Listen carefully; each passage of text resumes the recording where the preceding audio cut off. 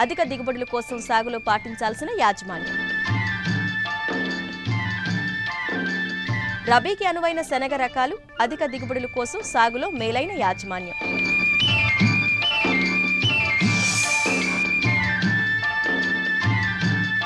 వంగ తోటల్లో తెగుళ్ళ ఉధృతి నివారణకు సమగ్ర సస్యరక్షణ చర్యలు.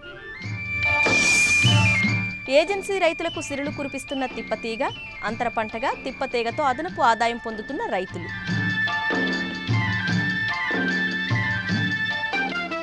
తెలంగాణ రాష్ట్రంలో రబీ పంటగా తెలంగాణలో వేరుశెనగను అధిక విస్తీర్ణంలో రైతులు సాగు చేస్తున్నారు. ఇప్పటికే నీటి వసతి ఉన్న చోట పంటను విత్తారు. అయితే నాణ్యమైన అధిక దిగుబడిని పొందాలంటే తొలి దశ నుండే మేలైన యాజమాన్యం చేపట్టాలి. ముఖ్యంగా కలుపు యాజమాన్యం ఎరువుల యాజమాన్యం నీటి తడుల సమయానుకూలంగా అందించాలని సమగ్ర యాజమాన్య పద్ధతులను తెలియజేస్తున్నారు పాలెం ప్రాంతీయ వ్యవసాయ పరిశోధనా స్థానం శాస్త్రవేత్త శ్రవంతి.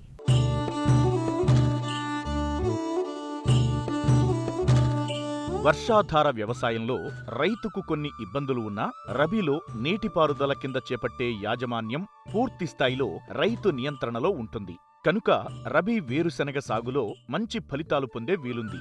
సాధారణంగా మనకు అందుబాటులో ఉన్న రకాలన్నీ పన్నెండు క్వింటాళ్ళకు పైబడి దిగుబడినిస్తున్నాయి. ఇసుకతో కూడిన గరప నేలలు నీరు ఇంకే స్వభావం ఉన్న ఎర్రచల్కా నేలలు ఈ పంట సాగుకు శ్రేష్టమైనవి. అయితే తొలి దశలో ఆశించే చీడపీడల నివారణకు తప్పకుండా విత్తన శుద్ధి చేయాల్సి ఉంటుంది. అయితే మేలైన యాజమాన్య పద్ధతులు పాటిస్తే రైతులు ఆశించిన దిగుబడులు పొందవచ్చంటూ వేరుశనగ సాగులో మెలకువలు తెలియజేస్తున్నారు పాలెం ప్రాంతీయ వ్యవసాయ పరిశోధనా స్థానం శాస్త్రవేత్త స్రవంతి. వేరుశనగనే సాగు చేసేటప్పుడు ఎర్రచల్ ఇసుక నేలలు ఎర్రచలక నేలలు అనేవి చాలా అనుకూలమైనవి.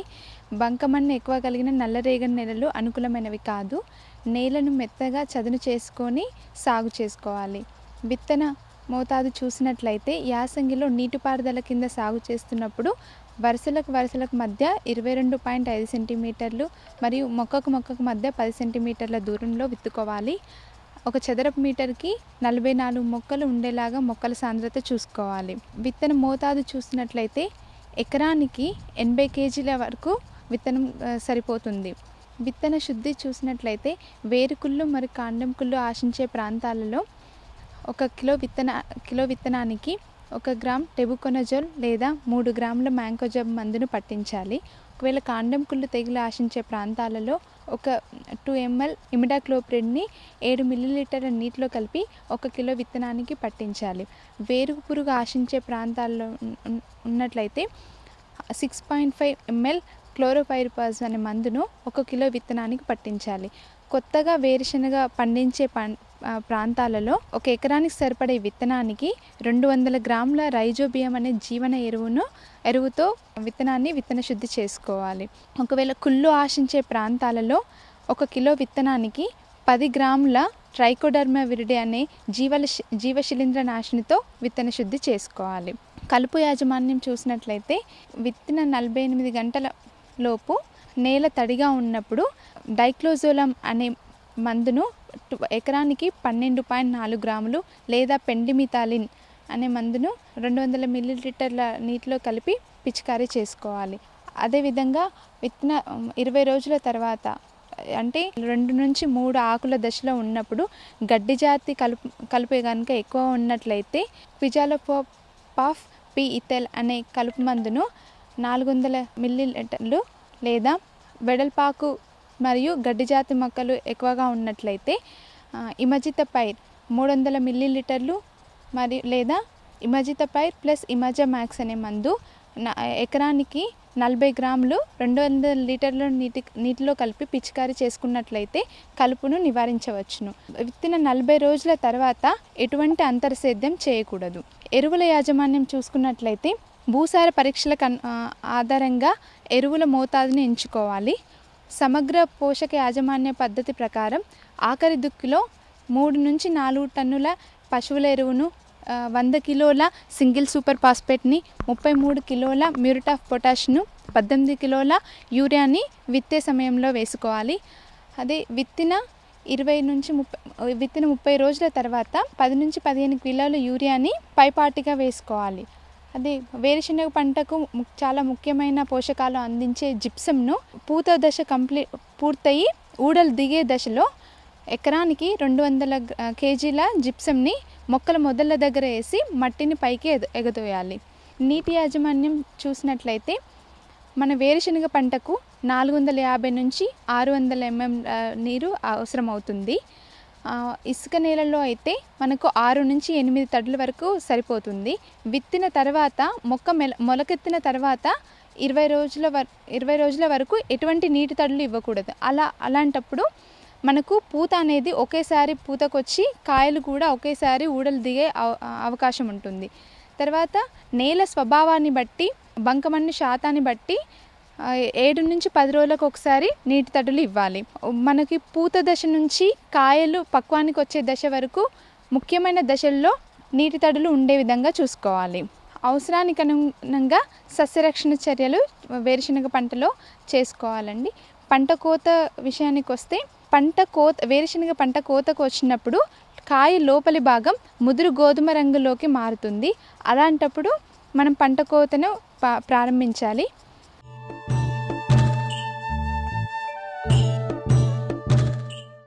తక్కువ పెట్టుబడి తక్కువ సమయంలో పంట దిగుబడులు వస్తుండడంతో రబీలో చాలా మంది రైతులు శనగ సాగును చేపట్టేందుకు మొగ్గు చూపుతున్నారు. అయితే శీతాకాలంలో మంచును ఉపయోగించుకొని పెరిగే ఈ పంటలో అధిక దిగుబడులు పొందాలంటే ఆయా ప్రాంతాలకు అనువైన రకాల ఎంపికతో పాటు మేలైన యాజమాన్య పద్ధతులు పాటించాల్సి ఉంటుందని రైతులకు చెబుతున్నారు వరంగల్ ప్రాంతీయ వ్యవసాయ పరిశోధనా స్థానం శాస్త్రవేత్త సంధ్యా కిషోర్.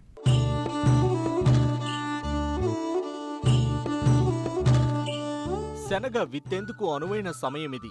శీతాకాలంలో మంచును ఉపయోగించుకుని పెరిగే ఈ పంట సాగుకు ఈ ఏడాది అత్యంత అనుకూల వాతావరణం ఉంది.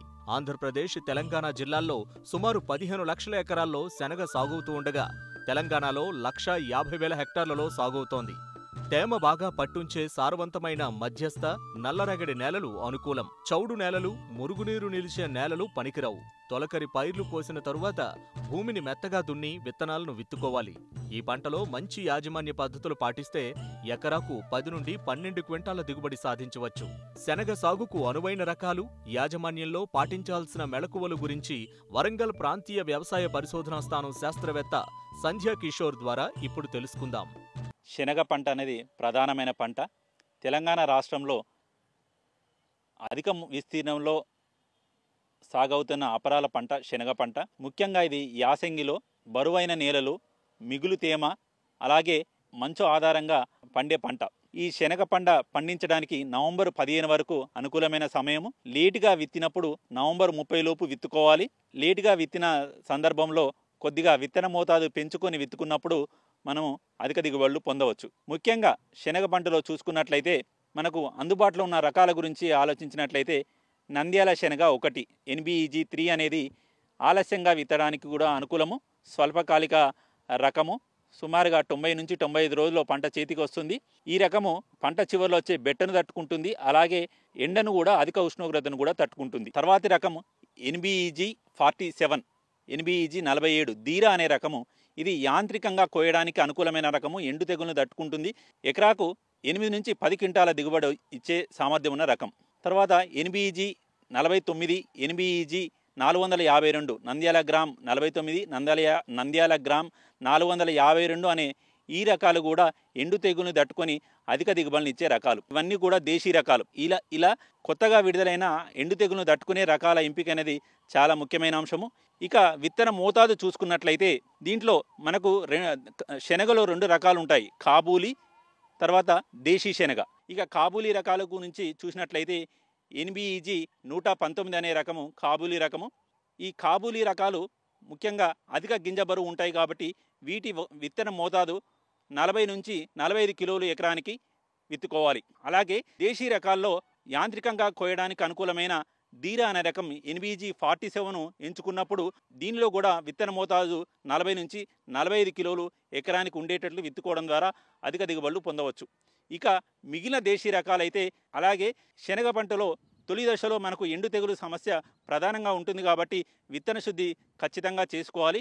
దీనికోసము థైరం కానీ మ్యాంకోజెబ్ కానీ రెండు పాయింట్ ఐదు గ్రాములు కిలో విత్తనానికి పట్టించి విత్తన శుద్ధి చేసుకోవాలి. ఆ తర్వాత ట్రైకోడర్మా పది గ్రాములు కిలో విత్తనానికి పట్టించి విత్ విత్తడం ద్వారా మనము తొలి దశలో వచ్చే అన్ని ఎండు తెగుల సమస్యను కూడా నివారించుకోవచ్చు. అలాగే తొలిసారి విత్తినప్పుడు రైజోబియం కల్చర్తో విత్తన శుద్ధి చేసుకోవాలి చేసుకోవాలి. అలాగే ముఖ్యంగా వీటిలో శనగలు చూసుకున్నట్లయితే విత్తిన మొదటి పదిహేను రోజుల్లోపు మనకున్న మంచు వాతావరణ పరిస్థితులు అలాగే మబ్బు వాతావరణ పరిస్థితులు ఉన్నప్పుడు తొలి దశలో పచ్చ రబ్బరు పురుగు ఆకులను గోకి తినేస్తూ ఉంటుంది కాబట్టి తొలి దశలో వేప సంబంధిత కీటకనాశినైన వేప నూనెను పదిహేను వందల పీపీఎం వేప నూనెను ఐదు మిల్లీలీటర్లు లీటర్ నీటికి కలిపి పిచికారీ చేయడం ద్వారా తొలి దశలో రబ్బరు పురుగును నివారించుకోవచ్చు. అలాగే పూత కాయ దశలో మనకు కాయదల్చే పురుగును ఉధృతి ఉండే అవకాశం ఉంది కాబట్టి ఆ సమయంలో క్లోరాంట్రినిప్రోల్ అరవై మిల్లీలీటర్ల ఎకరానికి లేదా ఇమాబెక్ ఇమామెక్టిన్ బెంజేయుటు ఎనభై గ్రాములు ఎకరానికి ఏదైనా ఒక కీటకనాశిని పిచికారీ చేయడం ద్వారా శనగపచ్చ పురుగు ఉధృతిని కూడా నివారించుకోవచ్చు. అలాగే శనగలో చూసుకున్నట్లయితే మనకు తడులు తేలికపాటి తడులు ఇచ్చినప్పుడు దిగుబడులు గణనీయంగా పెరిగే అవకాశం ఉంది. దీనిలో ముఖ్యంగా శనగలో విత్తిన ఇరవై ఐదు నుంచి ముప్పై ముప్పై రెండు రోజుల తర్వాత ముప్పై రెండు రోజుల సమయంలో ఒక తేలికపాటి తడిని స్ప్రింక్లర్ల ద్వారా మాత్రమే అందివ్వాలి. అలాగే యాభై నుంచి యాభై ఐదు రోజుల తర్వాత విత్తిన యాభై నుంచి యాభై ఐదు రోజుల తర్వాత స్ప్రింక్లర్ల ద్వారా తేలికపాటి తడిని అందించినప్పుడు దిగుబడులు గణనీయంగా పెరిగే అవకాశం ఉంది. ఈ రకంగా శనగలో సరైన రకాల ఎంపిక విత్తన మోతాదు విత్తన శుద్ధి అలాగే తేలికపాటి తడులు ఇవ్వడం ద్వారా అధిక దిగుబడులు పొందవచ్చు.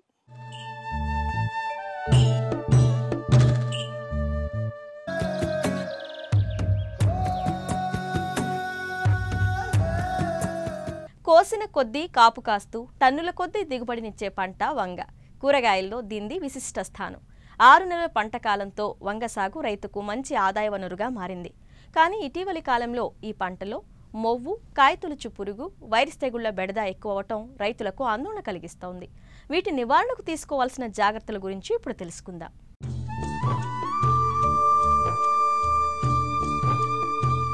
మన రాష్ట్రంలో వంగను సుమారు లక్ష ఎనభై వేల ఎకరాల్లో సాగు చేస్తున్నారు. సంవత్సరం పొడవునా వంగ సాగు చేయవచ్చు. ప్రస్తుతం మార్కెట్లో వివిధ హైబ్రిడ్ రకాలు అందుబాటులోకి రావడం వల్ల ఎకరాకు పది నుండి ఇరవై టన్నుల వరకు దిగుబడి సాధించే అవకాశం ఏర్పడింది. వంగ తోటకు ప్రధాన బెడద అయిన తలనత్త పురుగును సమర్థంగా అరికట్టగలిగితే దిగుబడులు మరింత పెంచుకునే వీలుంది. ఈ పురుగు నాటిన ముప్పై నుండి నలభై రోజుల నుంచి వంగ తోటను ఆశిస్తుంది. మొక్కల తొలి దశలో మొవ్వును తర్వాతి దశలో కాయలను తొలిచి నష్టాన్ని కలుగచేస్తుంది. ఈ పురుగు ఆశించిన మొక్కల మొవ్వులు వాడిపోయి కిందకు వేలాడుతూ ఉంటాయి. అందుకే దీన్ని తలనత్త అంటారు.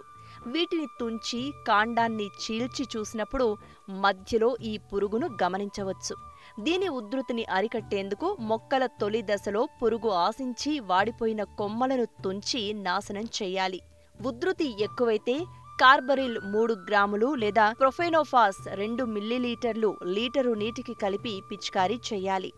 ఐదు శాతం వేప కషాయం లేదా వేప నూనెను తరచూ పిచికారీ చేస్తే మొవ్వు తొలుచు పురుగు యొక్క తల్లి రెక్కల పురుగులు పంట మీద గుడ్లు పెట్టకుండా నిరోధించవచ్చు.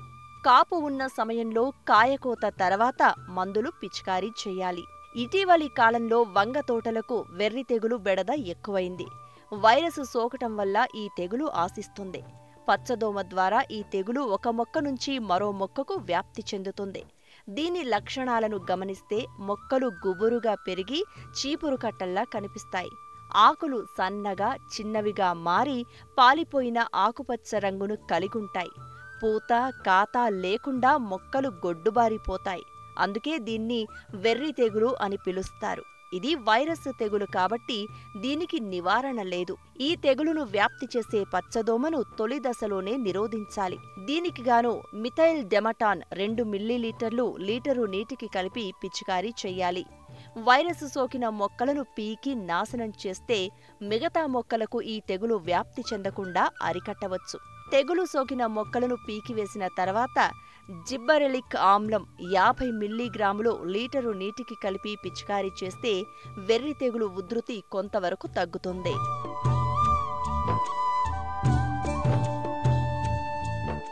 తిప్పతీగ ఇప్పుడు ఒక ఔషధ సిరిగా విస్తృత స్థాయిలో ప్రచారంలో ఉంది. నిన్న మొన్నటి వరకు ఇది ఎక్కడుందో తెలియదు ఎలా ఉంటుందో కూడా చాలామందికి తెలియదు. కరోనా పుణ్యమా అని దీని వినియోగం గతంలో కంటే మరింత పెరిగింది. అడవులు కొండలు కోనల్లో చెట్లకు పొదలకు పాకే ఈ మొక్కలతో ఇప్పుడు అదనపు ఆదాయం పొందుతున్నారు విశాఖ ఏజెన్సీ గిరిజన రైతులు.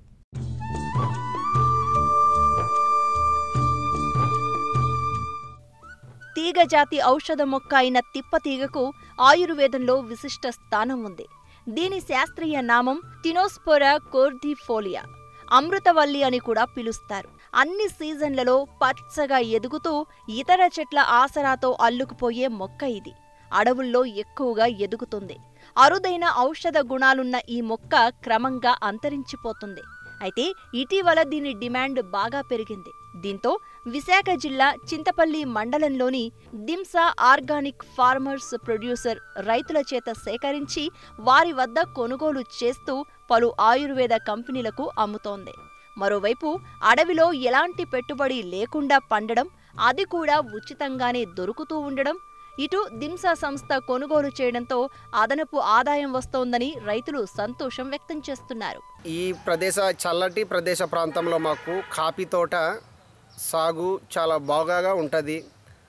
ఈ కాఫీ తోట సాగును వాణిజ్య పంట కూడా మేము కొలుస్తాం. దీంట్లో భాగంగా ఈ కాఫీ తోట మిరియాలు మాత్రం మేము సాగుని ఆదాయంగా మేము నమ్ముకున్నాం.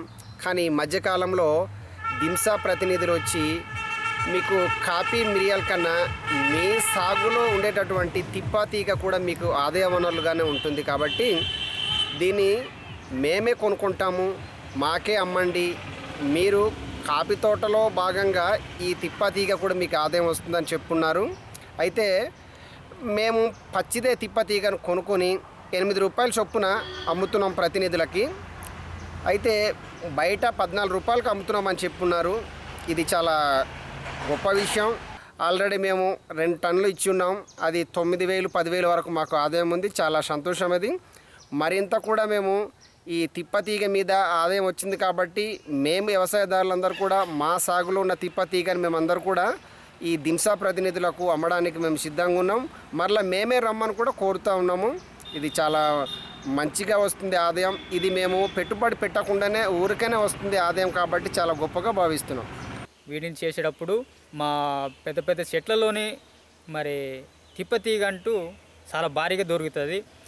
అది మరి దిమ్స్ అనే ఆ సంస్థ వాళ్ళు చెప్పారు. వచ్చి ఇది కూడా మీకు ఉపయోగము. దీన్ని మేము కొంటాము. దీని ఉపయోగం చాలా ఉంది అనేసి అంటే మాకు ఆశ్చర్యంగా పోయాము. దీన్ని ఏంటంటే మాకు కూడా అవగాహన లేదు. మేము తీసేయడము కింద పడిచేయడం అలా పాడు చేసి ఇష్టపడమి. అయితే వీళ్ళు వచ్చి చెప్పడం పెట్టి మాకు తెలిసింది. ఇది పద్నాలుగు రూపాయల వరకు కేజీ కొంటామంటున్నారు. మరి ఈ రకంగా అయితే మాకు కూడా ఉపాధి కలిగినట్టే. వాటిని మేము సేకరించి అమ్ముకోగలుగుతాం. రైతులకి లాభమే. మరి వాళ్ళు చేసుకునే చేసుకుంటే కనుక కాబట్టి ఈ రకంగా ఇంత ఉపయోగం అని మాకు తెలియదు ఇప్పుడే తెలిసింది. ఆరు వందల కేజీలు పద్నాలుగు రూపాయల చొప్పున మేము అమ్మాము చాలా డబ్బులు మాకు వచ్చి సంతోషించాము. అలాగే మా తోటల్లో కూడా చాలా రకాలైన వనమూలికలు ఉన్నాయి. తిప్పతీగ శరీరానికి సహజమైన రోగనిరోధక శక్తిని పెంచడంలో కీలక పాత్ర పోషిస్తుంది. దీర్ఘకాలిక వ్యాధుల నివారణ తగ్గింపునకు కూడా తిప్పతీగ బాగా పనిచేస్తుంది. కీళ్ళ నొప్పులు కీళ్ళలో మంట తగ్గుతాయి. శరీరం నుంచి విష వ్యర్థాలను తొలగించడానికి కాలేయానికి తోడ్పడుతుంది. కొలెస్ట్రాల్ను తగ్గిస్తుంది. మధుమేహాన్ని అదుపులో ఉంచుతుంది. దీర్ఘకాలిక దగ్గు వంటి వ్యాధుల నుంచి కాపాడుతుంది. శ్వాసకోశ వ్యవస్థ శ్లేష్మ పొరను శాంతింపచేస్తుంది. ఉబ్బసం దగ్గు జలుబు టాన్సిల్స్ శ్వాసకోశ సమస్యల నుంచి కాపాడుతుంది. ఇంత డిమాండ్ ఉన్న ఈ తీగను గిరిజన రైతుల చేత సాగు చేయించి వారికి ఆర్థికంగా తోడ్పడుతోంది దింసా ఫార్మల్ ప్రొడ్యూసర్ కంపెనీ. ఈ యొక్క తిప్ప తీగ అనే ఈ యొక్క ఒక తీగను మేము పర్చేజ్ చేయడం జరుగుతూ ఉంది మేము కొనుగోలు చేయడం జరుగుతూ ఉంది. చూసుకున్నట్లయితే ఈ యొక్క తిప్ప తీగ కాఫీ తోటల మధ్యన చాలా విరివిగా ఇది చెట్ల మధ్య వేలాడుతూ ఉంటుందండి. ఈ యొక్క తిప్పతీగ ఏంటంటే మరి తి తిప్పతీగలో చూసుకున్నట్లయితే ఇమ్యూనిటీ పవర్ పెంచే అవకాశం ఉంటుంది. ఈ యొక్క తిప్పతీగ వల్ల చాలా ఆయుర్వేదిక్ మెడిసిన్ కూడా తయారవుతూ ఉంది. మా యొక్క దింస అనే యొక్క రైతు ఉత్పత్తిదారుల సంఘం నుంచి మరి విజయవాడ చెందిన ఎస్ఎస్విఎస్ ఆయుర్వేదిక్ డ్రగ్ కంపెనీకి కూడా మేము పంపడం జరుగుతూ ఉంది. మరి ఇక్కడ రైతులు డిసెంబర్ నవంబర్ ఈ మాసాల్లో చూసుకున్నట్లయితే నవంబర్ డిసెంబర్ ఈ మాసాల్లో చూసుకున్నట్లయితే మరి కాఫీ తోటలకు మరి సూర్యరశ్మి కావాలని చెప్పి మరి ఈ రెబ్బలు లేదనుకుంటే ఈ యొక్క ఎండిపోయిన కొమ్మలు మరి కట్ చేయాల్సిన భాగంగా ఉంది. ఈ సమయాల్లో వాళ్ళు ఆ యొక్క తుప్పలు లేదంటే ఆ యొక్క కలుపు నిర్మించాలంటే కొంత డబ్బు ఖర్చు అయ్యే అవకాశం ఉంది కనుక ఈ యొక్క తిప్పతీగని వీళ్ళు అమ్ముకున్నట్లయితే సుమారుగా చూసుకున్నట్లయితే ఒక ఐదు వందల కేజీలకి చూసుకున్నట్లయితే ఒక రైతు దగ్గర నుంచి ఒక ఎనిమిది వేల రూపాయలు వాళ్ళకి ఇవ్వటం జరుగుతూ ఉంది. అయితే ఈ యొక్క తిప్పతీగను మేము కొనుగోలు చేసి మరి ఈ యొక్క ఆయుర్వేదిక్ కంపెనీకి మేము పంపించి అలాగే మరి చాలా ఇండస్ట్రియల్ పరంగా చూసుకున్నట్లయితే మరి వేరే వేరే స్టేట్లకు కూడా మేము పంపడం జరుగుతూ ఉంది. ఈ యొక్క తిప్పతీగ వలన రైతుకు ఒక అధికంగా ఒక లాభంగా అని చెప్పుకోవచ్చు. మరి కాఫీ తోటల మధ్య ఇది ఏ యొక్క విత్తనం వేయకుండా సహజ సిద్ధంగా వచ్చే ఒక ఈ యొక్క తీగ కనుక ఈ యొక్క రైతు కాస్త కష్టపడి ఆ యొక్క చెట్లు ఎక్కి లేదనుకుంటే చెట్ల నుంచి ఆ యొక్క తీగను కట్ చేసి మాకు అమ్మినట్లయితే మంచి ఒక ఆర్థికపరమైన ఆ యొక్క కాఫీ తోటలతో వచ్చే ఇన్కమ్తో కాకుండా మరియు అదనంగా ఒక ఎనిమిది వేలు పదివేలు ఒక రెండు టన్నులు ఇచ్చినట్లయితే ముప్పై నాలుగు వేలు వరకు కూడా వీళ్ళు ఆ యొక్క తీగ విషయంలో వీళ్ళు ఆర్జించే అవకాశం ఉంటుంది.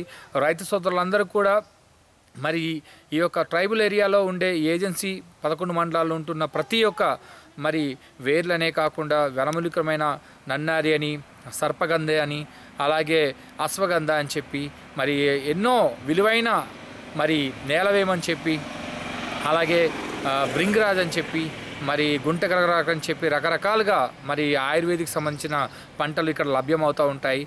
మరి అవన్నీ కూడా రైతు తీసుకొని మరి అడవి నుంచి వచ్చే ఈ యొక్క ఫారెస్ట్ కల్టివేషన్ కూడా మరి వాళ్ళు సేకరించి మరి తీసుకున్నట్లయితే మంచి ఉన్నతమైన ఆర్థికపరమైన మంచి పురోగతిని ఇచ్చే అవకాశం ఉంటుందని చెప్పి ఈ యొక్క తిప్పతీగ విషయంలో మేము ముందంజ వేయటం జరిగిందండి.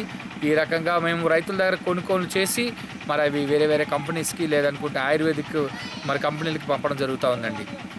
ఒకప్పుడు రోడ్డుకు ఇరువైపులా రహదారుల్లో ఎక్కడ పడితే అక్కడ ఇబ్బడి ముబ్బడిగా కనిపించే తిప్పతీగ చెట్లు క్రమేపీ అంతరించిపోతున్నాయి. అయితే దట్టమైన అడవుల్లో చెట్ల పొదల్లో మాత్రం విరివిగా తిప్పతీగ ఆకులు లభ్యమవుతున్నాయి.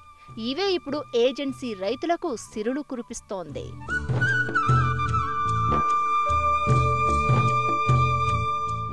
వ్యవసాయంలో సమస్యలకు సందేహాలకు సమాధానాల కోసం మట్టి మనిషి రైతుకు అండగా నిలుస్తుంది.